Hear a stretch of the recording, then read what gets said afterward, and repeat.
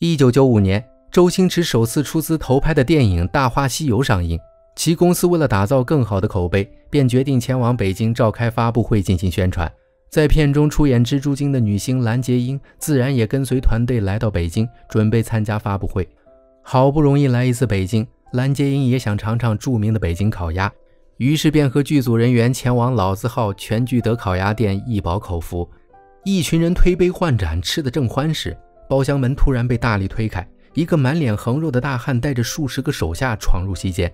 来人正是臧天朔。他听说周星驰的大话西游要来京城宣传，结果在没和他打招呼的情况下，就在着手布置场地了，于是顿感不满。身为京城娱乐圈的一把大哥，臧天朔规定大家想要开演唱会或者宣传会，都要和自己打个招呼，给他点利润才行。这次蓝洁瑛等人贸然前来，等同于坏了臧天朔的规矩。折了他的面子，所以也难怪他会如此大动干戈地找上门。而一直在香港娱乐圈的蓝洁瑛，哪知道臧天朔在北京的地位呢？还以为是来了一群劫匪，正想拿点钱打发他们走，没想到臧天朔把枪拍在桌子上，直勾勾地盯着他，问他是不是《大话西游》里那个蜘蛛精。蓝洁瑛点头后，臧天朔呲起牙，摆出一副凶神恶煞的姿态说：“你们还有心思在这吃饭？”就算是周星驰亲自来北京，也要守我的规矩。你们怎么敢的？在座的人都懵了。对面这个胖子究竟是什么来头啊？见众人没有反应，臧天朔更觉得自己被轻视了，抄起一个酒瓶就往蓝洁瑛头上狠狠地砸去。只听一声脆响，蓝洁瑛满头流血地倒在了地上。旁边的经纪人刚要站起来，也被臧天朔的手下用凳子击倒。随后，臧天朔抓起蓝洁瑛的头发，在她耳边叫嚣道：“你给我记住了，但凡来北京办活动，都必须经过我臧天朔的同意，一切场地设备，甚至场务人员，都要用我提供的，懂了吗？”此时的蓝洁瑛已经被吓得是两腿发软，浑身战栗，只能连连点头赔罪。年轻气盛的臧天朔不免有些飘飘然，便捏着他的下巴，要他今晚陪侍自己，否则绝对不会放他们回香港。那经纪人连滚带爬抱住了臧天朔的大腿，哀求他放过蓝洁瑛。他们马上就走，不说宣发，电影也不拍了。臧天朔见状，只轻哼了一声，没再继续纠缠，带着手下们便离开了。去医院包扎伤口后，蓝洁瑛越想越气。她也不是吃素的，既然臧天朔找上门，她便不再留手，当即打了个电话给他的老板陈慧敏。这陈慧敏不但是蓝洁瑛的公司老板，也是香港黑帮十四 K 的大佬。得知自己手下的艺人被欺负后，陈慧敏怒上心头，直接找了五十个香港的打手，连夜坐飞机赶赴北京，要替蓝洁瑛好好教训一下臧天朔。只不过陈慧敏还是小瞧了臧天朔的势力，他派出去的五十个打手被臧天朔的几百号人打的是遍体鳞伤，最后灰溜溜的逃回了香港。这下陈慧敏的面子挂不住了，他只能联系世纪大盗张子强，让他用内地的势力来杀一杀臧天朔的威风。既然是陈慧敏的请求，张子强没有迟疑，直接打电话给臧天朔，要他赔偿三百万的医药费，这事儿才能解决。臧天朔一听也恼了，他知道陈慧敏和张子强在香港有多豪横，但要是敢来北京，绝不是自己的对手。所以臧天朔有恃无恐，说一毛钱都不会给，除非他们上北京来磕头认错。说完，臧天朔直接把电话给挂了，态度嚣张至极。这可直接把张子强给惹怒了。既然臧天朔是京圈的，那他就找个京圈的大佬去治治他。先前张子强在深圳混的时候，结识了被排挤出来的加代，两人有着过命的交情。现在加代是京圈黑道的一把手，张子强便想托他的关系废掉臧天朔。听好兄弟说要废掉臧天朔，加代那是左右为难，两边都是自己的朋友，得罪哪边都不好。于是他在中间周旋，一边劝臧天朔拿三百万给张子强破财消灾，一边又给张子强说好话，让他消气。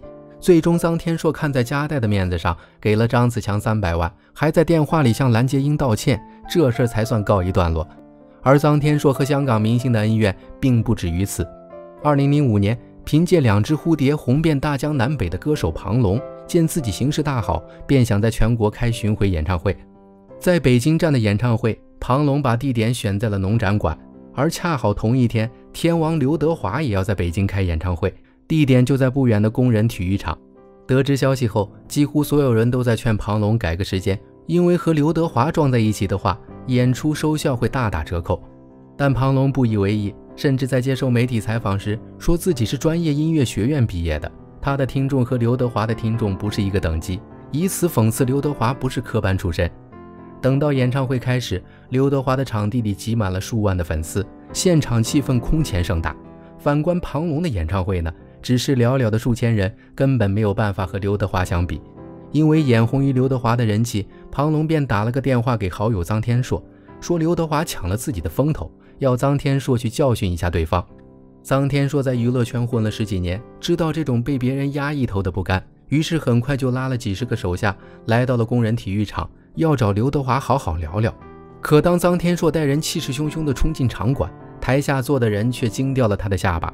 原来刘德华之前在内地碰了不少的壁，深知其中的关系和门道，于是这次在北京开演唱会，便邀请了众多京圈的大佬来坐镇。臧天朔仔细一看，李宝敏。严晶、谭辉等人都在现场，他根本不敢动手，只能带人悻悻离去。其实除了帮助圈内的好友，道上朋友的忙，臧天朔也没少帮。有一次，加代在深圳做生意时，发小汉语打电话过来，说自己要结婚了，希望他能来参加。加代得知后，二话不说就赶回了北京，不仅给汉语包了几十万的红包，还一手安排了豪车和酒店，并叫上了好友臧天朔来给他撑场面。一整天的婚礼进行下来，汉语可谓是格外的享受。之后，汉语带着大家一起去参加了一个娱乐圈的聚会。聚会中，当年靠一首《我是一只小小鸟》走红的女歌手罗琦也在现场。等加代、臧天朔他们到场后，罗琦已经喝的是七荤八素了。加代和臧天朔已经见惯了这些所谓的明星，也没表现出什么热情，只是和熟悉的朋友们喝喝酒。此时，初出茅庐的罗琦醉的是飘飘然。出道没多久就红得一塌糊涂，他自然是心高气傲的。于是，在众人的吹捧下，一时间口无遮拦，脱口而出：“北京人都是傻逼。”这话让在场的北京道上颇有名气的马三非常的愤怒，他觉得罗琦的话侮辱了他的兄弟和朋友。于是，马三愤怒地拿起一个啤酒瓶，冲着罗琦的脑袋砸去，酒瓶粉碎，混杂着罗琦的血落在了地上。